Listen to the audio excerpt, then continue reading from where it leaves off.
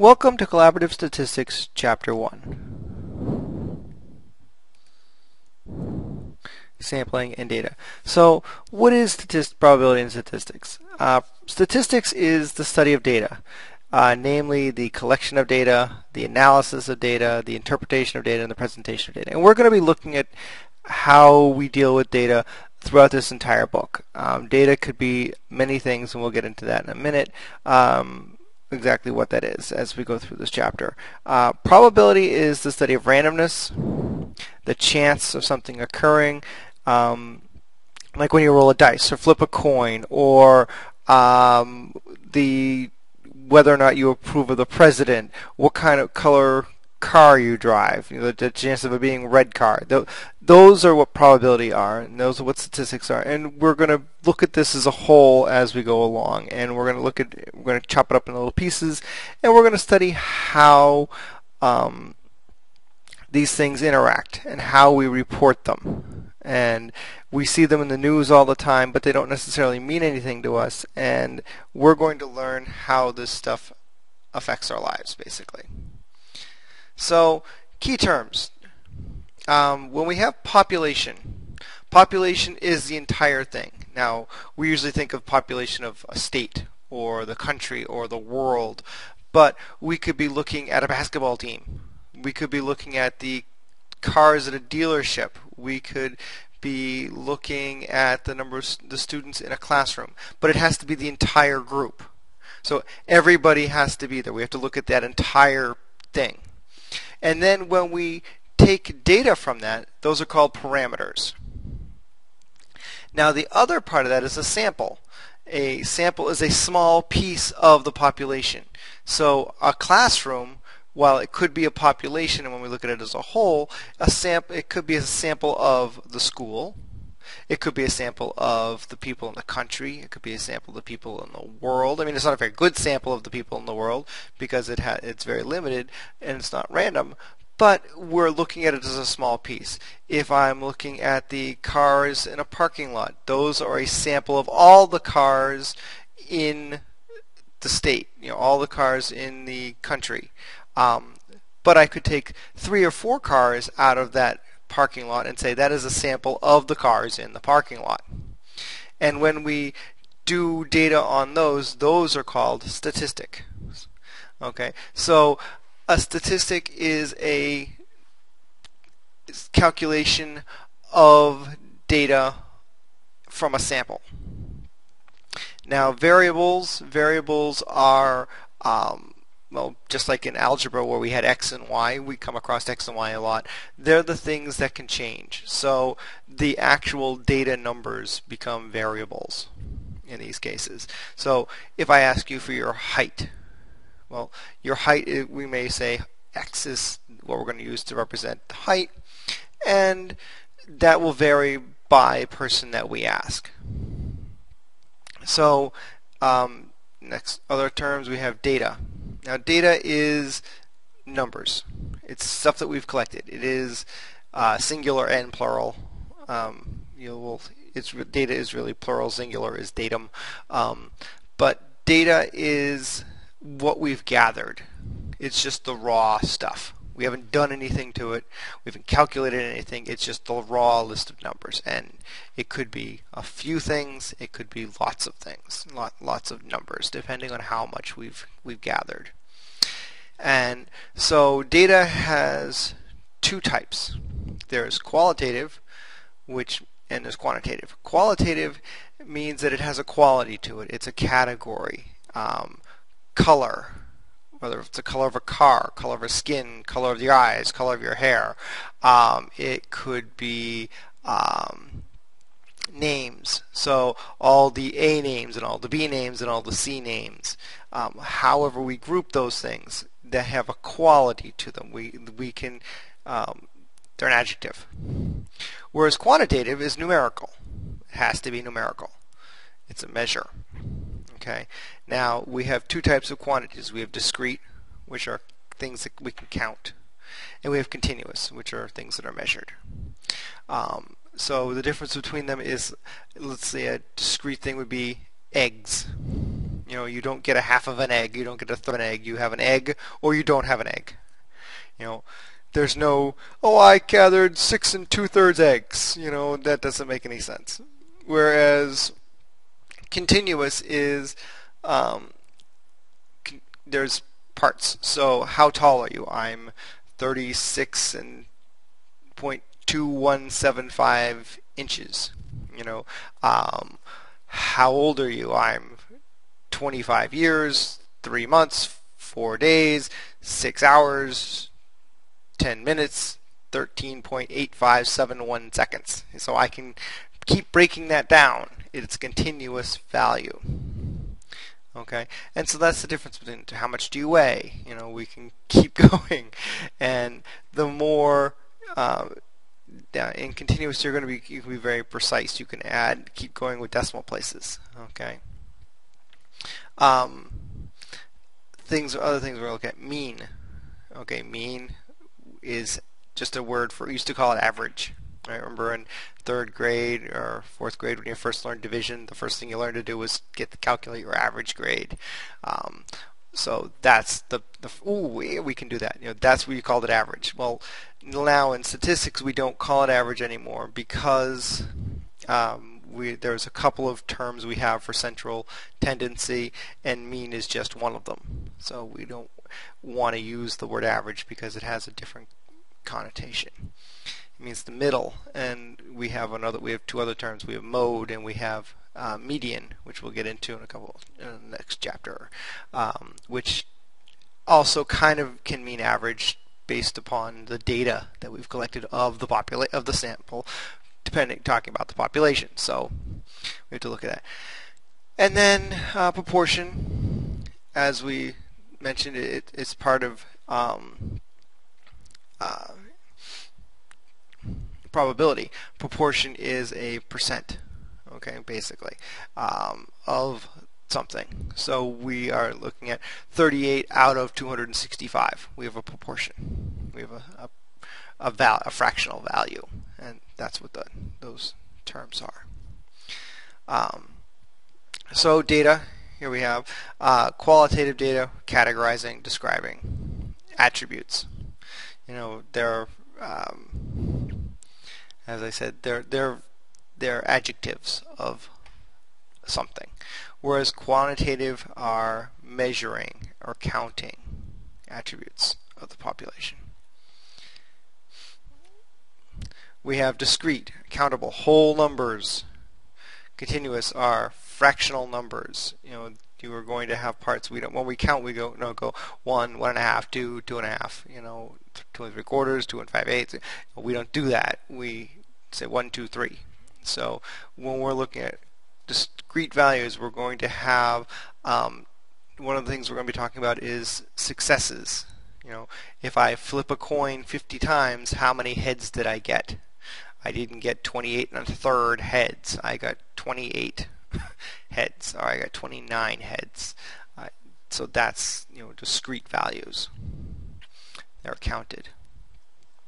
Um, we have ways of describing of of not necessarily describing but showing data. A bar graph as you can see here. It has vertical lines. They're going up and down. They're bars.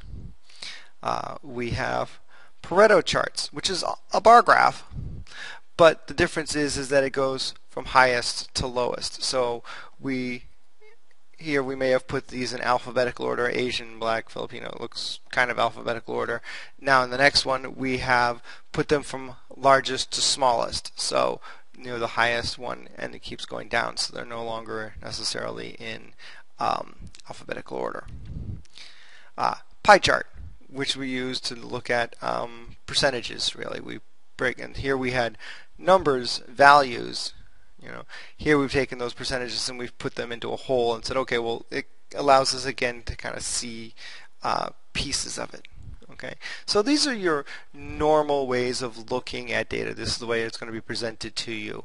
Um, we take these things and do more information with it, but at least we have a way to look at it. We can see the stuff. Okay, it has meaning. We can, if I put this in a newspaper, people and with information about it, they could go, oh, I, I understand that. And so that's why we rep uh, represent them in these what kinds of ways, so we can show them to people. So, sampling. The most basic type of sampling, the most important type of sampling. I don't know if you've noticed it. Um, it's very large.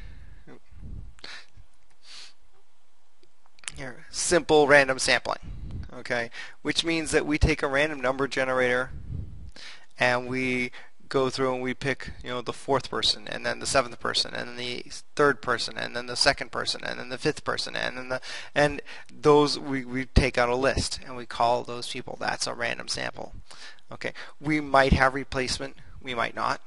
You know, uh, like when we're doing things, it doesn't make when we're asking people, it doesn't necessarily make a lot of sense to replace them because then we would ask them again, and we really don't want that.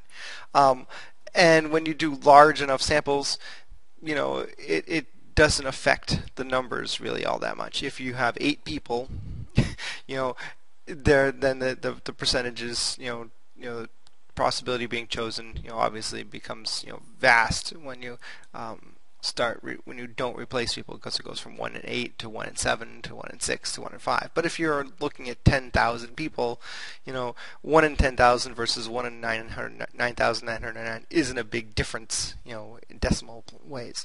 Um, so, but we usually don't replace people, we do replacement in sampling of people because we don't want the same person to answer the question twice. Um, when we do this, we have a sample size and we label it n. You're going to see lots of letters um, that do and don't make sense. Um, n, I guess, for number of things, um, but that's the standard is that the sample size is of n. All right.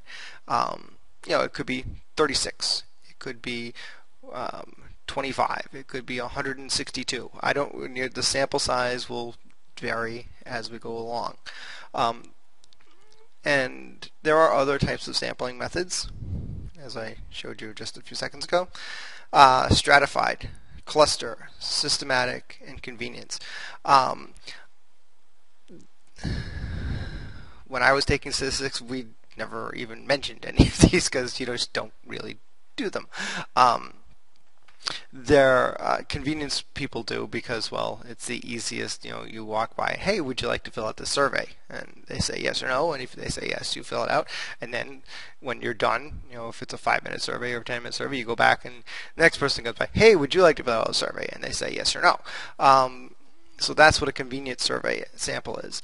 Uh, stratified cluster um, they break things up into groups and then take samples either randomly choose the whole group or randomly choose people from each group depending on which one you're looking at. And there's a on YouTube there's a bunch there's one really good one um, in the class here we have. I, I have videos that I stole from him uh, on using that. And I think it shows better because you know he shows how it works with paper people. Um, and a systematic sample is I'm going to take every third person, or I'm going to take every fifth person, or I'm going to take every 22nd person um, that comes along. And so there's a system to your method. So you can see why they become less. Uh, as we go down the list, you know, less random. And sampling, you really want to have random because um, we don't want to we want to remove as much bias as we can, and um, by doing it randomly, we aren't choosing that. We don't have um, we're not putting that piece in. So. Frequency tables. Frequency tables are just ways that we use to um, write data down. And the simplest one is the frequency. We have the things number the things that occurred. How many times did they occur? That's it. So we start from that. We go, okay, well, I you know take a tally sheet and I count them up and I go, okay, you know, two occurred three times and three occurred five times and four occurred three times and five occurred six times and six occurred twice and seven occurred once. And that's it. That that's all I see on a frequency table. Now, that's the simplest one. It's not very useful. It just gives you a list of numbers. The next one is the relative frequency. We take our frequencies and we find out what percent of the time. What fra- a fractional number? You know, we can turn it into a fraction, a decimal, percent, whichever. Uh, we take the value, the frequency, and divide by how many things there were. Well, there were 20 students that were asked.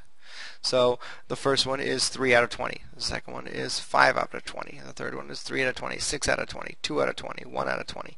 Um, you should reduce your fractions. You know, obviously, if you're a decimal, you can go to uh, decimal places.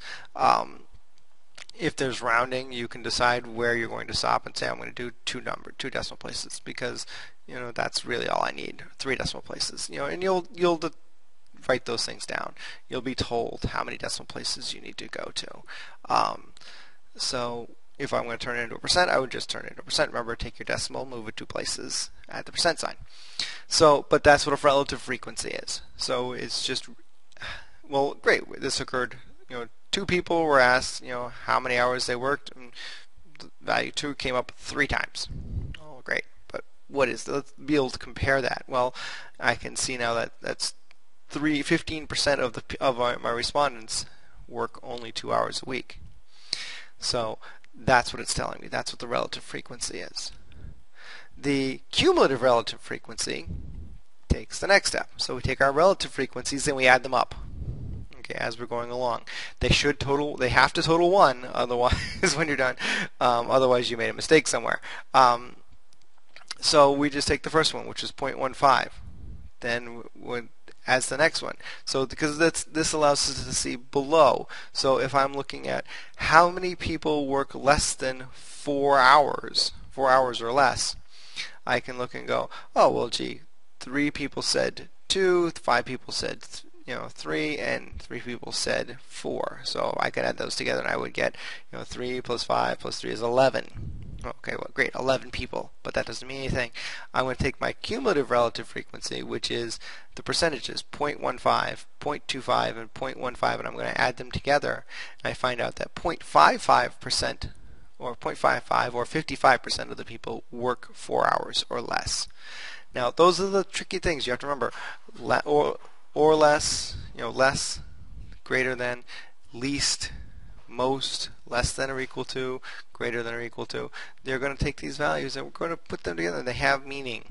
You know, so words have mathematical values. At most means, you know, less than or equal to, whereas at least means greater than or equal to. And so we would have to, if we're looking for greater than or equal to, we take our cumulative frequency and then subtract it from 1. And that will allow us to get that value. And we are at the end of chapter 1. That's it. Um, look forward to chapter 2 in coming days. Um, I will see you in class. Um, if you have any questions, you know, feel free to ask me. Uh, don't forget to take notes, um, all that good stuff. Um, we'll do some of the problems, but this is chapter 1 in a nutshell. Bye.